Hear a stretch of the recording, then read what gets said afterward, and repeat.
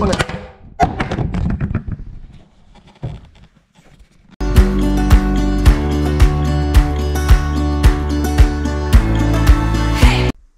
¿qué tal? Me veo por ahí. Eso, ¿cómo están? Bienvenidos a un nuevo video del canal Simonuca con Mosca.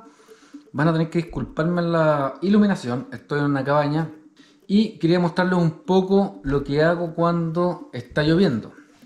Cuando llueve, lo que yo hago es pasar a utilizar un lanyard porque voy a andar con un rain jacket. Es mucho más cómodo andar con un rain jacket y el lanyard que andar con un aparato como este que es un chest pack. Voy a dejar un link acá en la descripción del video donde lo pueden ver. Este chest pack es el William Joseph. Ya no lo fabrican, pero la versión de Unqua, el Overlook, es como lo que los vendría a reemplazar en mi, para mi gusto. Yo tuve el Overlook y tengo este. El Overlook lo vendí porque este es mi favorito, pero el segundo favorito sería el Overlook. Entiendo que pesca total está trayendo cosas de Unqua. Bien, hay algunas cosas aquí que no puedo andar trayendo acá. Está lloviendo, entonces este lanyard, creo que hice un unboxing. Es un lanyard que compré en eBay. Me permite tener unos spools de, o bobinas de tippet. Secante, corta hilo para dejar secando las moscas, ¿cierto? Y lo básico. La ventaja aquí, acá, este sistema, en el chestpack tengo cosas que puedo mover rápidamente de un lado a otro. Por ejemplo, este sistema que se llama Monomaster, que sirve para botar el tippet. A mí no me gusta andar botando el tippet en el agua y por lo tanto lo paso acá al lanyard rápidamente. Y ya estoy. El flotante que ando trayendo acá es el, el Loon Aquel, que sirve muy bien para moscas con CDC. Yo estoy en un curso actualmente con Pedro Pablo Pinos y David Ferreras, que Ferreras. Un curso, bueno, ellos son los que inventaron el tema de la pesca al hilo. Y hay un capítulo donde se pesca en tándem al hilo y se utiliza mucho mosca seca con cool de canar. La ventaja del cool de canar es que las plumas se pliegan un poco y es más fácil hacer el lanzamiento y el Loon Aquel anda muy bien. Hoy día no voy a pescar con mosca seca, pero siempre ando trayendo en este Langer el Jink, que es una solución similar al Loon. No es tan... A ver, es muy excelente. El problema que tiene es que cuando hace mucho frío queda demasiado pastoso y cuando hace mucho calor se liquefía o se pone muy líquida.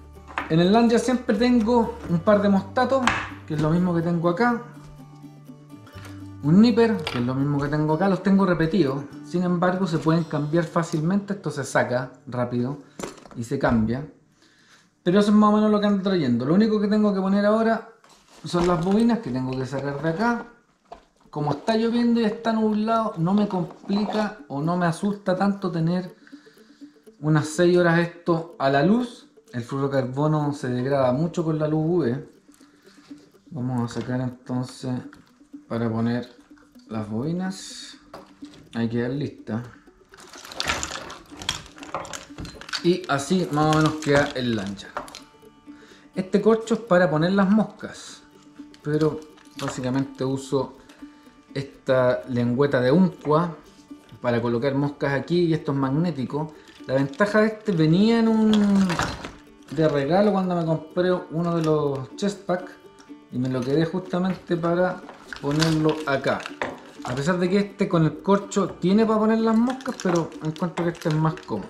Y bien, eso es lo que voy a andar trayendo más dos cajas de moscas que voy a andar trayendo en los bolsillos. Estas son ninfas con pelo y estas son ninfas también denominadas perdigones porque están cubiertas de laca o resina UV, lo que permite que caiga muy rápido en la columna de agua. Y este es mi kit para pescar con lluvia. Ahora que ya lo mencioné, quiero regalarle algunas cositas que he aprendido en el curso. Como he mencionado, el carrete que tengo preparado yo es el Sage ESN. Voy a dejar un link en la descripción del video al review y al unboxing. En este carrete Sage tengo backing, 100 yardas de backing, o me parece que 100, sí, 100, 100 yardas de backing, tengo una línea, la Ultralight Nymph de Vision, Scientific Anglers vende y Río también venden, y después tengo aproximadamente dos largos de la caña que vendrían haciendo 6,6 metros o 22 pies de monofilamento bicolor y finalmente una, un loop, podría ser una anilla y después tippet 5 6X de fluorocarbono. ¿Por qué se los menciono? Porque si ustedes no van a competir, no necesitan usar la anilla, pueden reemplazar la anilla por un micro loop, pueden hacer un perfection loop pequeñito y es suficiente.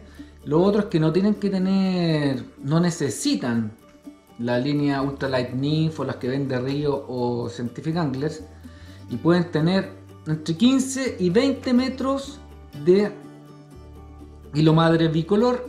El ideal para partir, digamos que sería un 3X y después se van volviendo más finos. Si ya tienen un buen manejo, puede ser 4X o 5X. Y en vez de tener el backing, ponen nylon o monofilamento 0.40 o 0.30. ¿Por qué se los menciono? Porque el monofilamento bicolor, que es de nylon, el nylon absorbe agua. Entonces se deteriora. Entonces el backing, que normalmente es de Dacron, absorbe agua y se seca muy lento. A diferencia del nylon, que se seca más rápido y ahí tienen un seguro de los 15 a 20 metros de línea bicolor más unos 20 metros de nylon y con eso quedan con 50 metros de línea que es suficiente. Otra recomendación que hace Pedro Pablo Pinos es utilizar el carrete más liviano que puedan y para él eso de equilibrar la caña no existe, mientras más liviano todo mejor. Se los dejo ahí porque finalmente va a depender del gusto de cada uno. Y eso es como transformo lo que tengo aquí. Acá llevo lo mínimo, obviamente en mi cuerpo voy a andar con un cuchillo, y un par de cosas más, los lentes, un sombrero.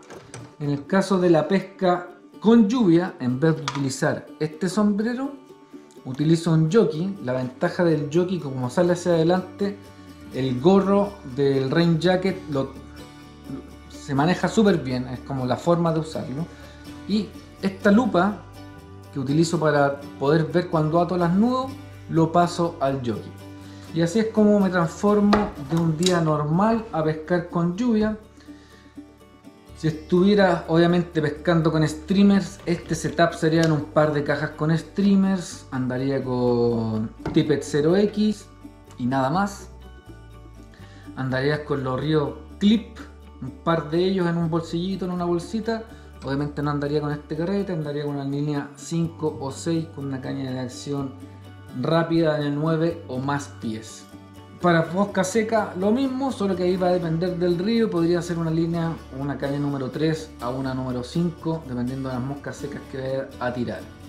En días lluviosos es preferible, o yo prefiero utilizar moscas secas que floten bien, moscas secas que sean hechas con materiales como, perdón, materiales como goma eva o qué sé yo, donde mantengan una buena flotabilidad. De todas formas, yo creo que los días nublados y los días con lluvia son los mejores días de pesca.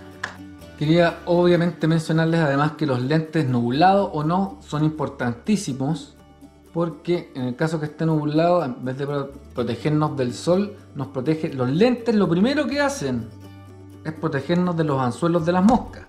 Segundo, del sol y los reflejos del agua. Pero lo más importante son las moscas. Por lo tanto, para días lluviosos y nublados, recomiendo lentes con tinte amarillo, idealmente fotocromáticos para que se oscurezcan si es que la intensidad lumínica aumenta y se aclaren. Si no, de todas formas, para los que no saben, tengo una página web www.simonucaconmosca.cl que va a aparecer acá abajo el link, en donde estoy vendiendo muchas cosas que ya no estoy utilizando y hay lentes amarillos que tengo que son polarizados, que no uso, que les pueden servir, entre otras cosas, son productos usados. Lo único nuevo que hago son las moscas que las ato a pedido. El resto son cosas que Ya no estoy usando, lo menciono porque hay muchos que creen que tengo abierta una tienda y no es tan así. Lo que pasa es que trabajo en TI y sé cómo hacer esas cosas. Entonces, para mí es más cómodo tener una tienda y dar un buen servicio a través de esa tienda y página web que estar así por WhatsApp, por cosas como más informales que al final a mí se me olvidan cosas y que hay correos de seguimiento, les llega correos cuando con el número de tracking de Chile Express, pueden pagar con Chile con, perdón, con Mercado Pago, con PayPal, así que es una buena opción.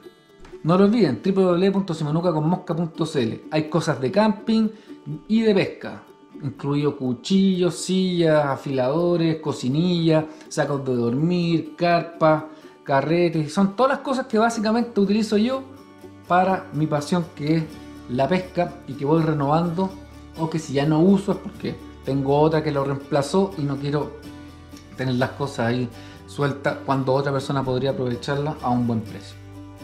Así que bueno, no se pierdan el video de la pesca porque les voy a mostrar algunos tips con lluvia. La caña ya está, como mostré en otros videos, ya está recubierta de nylon para evitar que el hilo se me pegue a la caña Voy a mostrar algunos tips de pesca con lluvia, visibilidad y ese tipo de cosas. Así que no se pierdan el próximo video que va a estar más que interesante como dice el Mauro Inc. Este video fue cortito, pero pueden ver la importancia de tener un par de cosas más. Lo otro, mencionar que si es que tienen un banano que es impermeable, no necesitan hacer, estar haciendo cambio. Lo otro, que si tienen un chest pack impermeable, tampoco tienen que estar haciendo cambio. Hay distintas marcas que venden esas distintas cosas que les estoy mencionando y efectivamente son impermeables. Va a depender entonces ya de cada uno. Si pagar más por algo impermeable o tener algo así y poder hacer los cambios, incluso si es que van a salir por un par de horas en verano, este set también es bueno, en cuyo caso las tipes yo los andaría guardando en el bolsillo y no acá colgando. Eso amigos, si les gustó el video, denle un like, compártelo con sus amigos, no olviden de suscribirse al canal y como siempre nos veremos en una próxima oportunidad.